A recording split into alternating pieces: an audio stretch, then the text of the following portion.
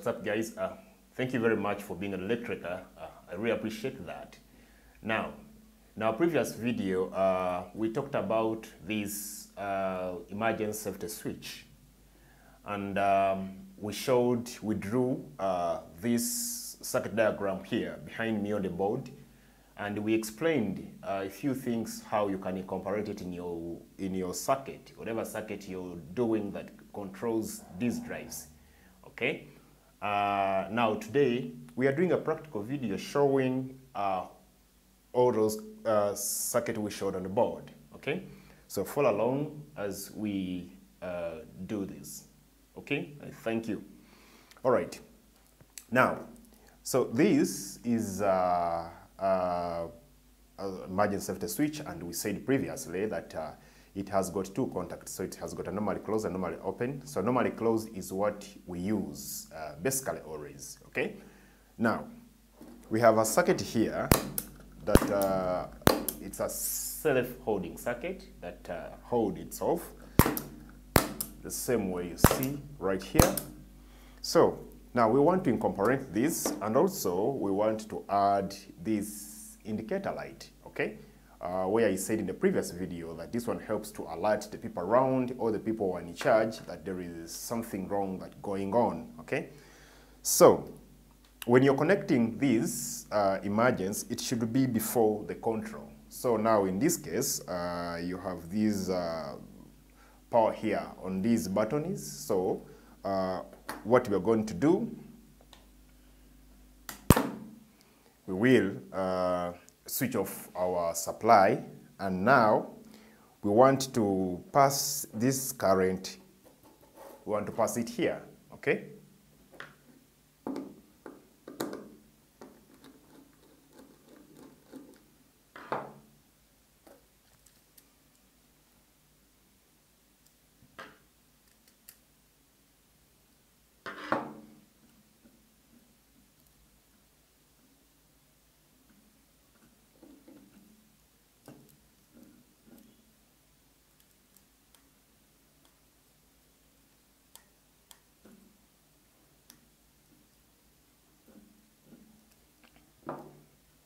Okay, now we have uh, connected an emergency switch between the control breaker uh, and the control circuit, okay? So what we're going to do, we're just going to connect the same uh, this side.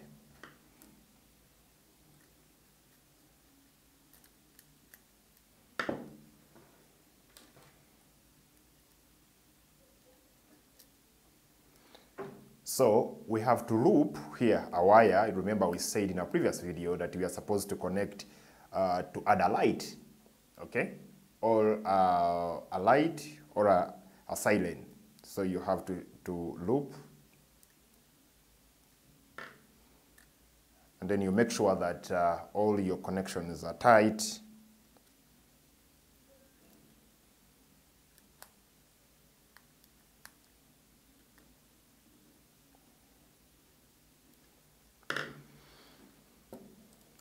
Okay, and now this goes back to your control breaker.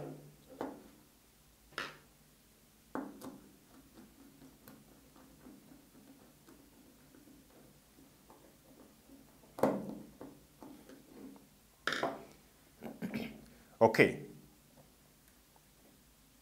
Now, I think here we are, we are good, okay?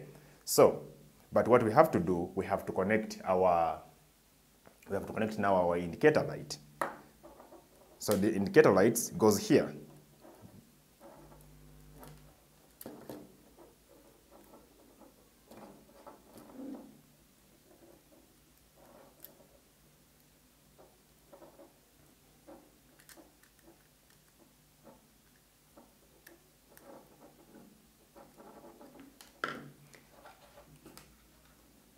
And then, of course, this side goes to the neutral. So we just pick a neutral here from the contactor itself.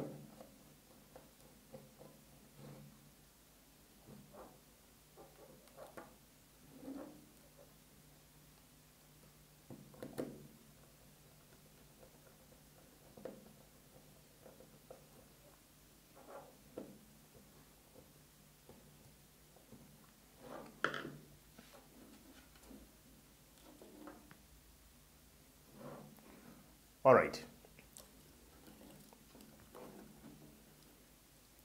Now, the thing you have to know is that uh, you can have as multiple uh, switches as you can, okay?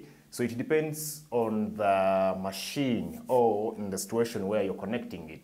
So you can connect them in series uh, in multiple places because in most cases, when the incident is happening, uh, perhaps it's not easy to reach uh, where the thing is, much as you have to put it here, uh, uh, much accessible as you can. But at least multiple people, if one person misses it, another person can always, uh, you know, uh, push it, okay?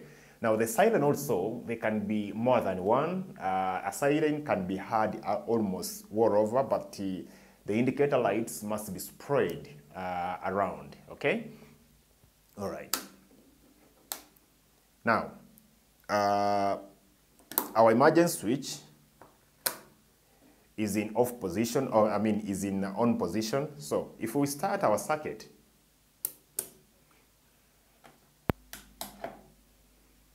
so if we start our circuit, it runs, okay?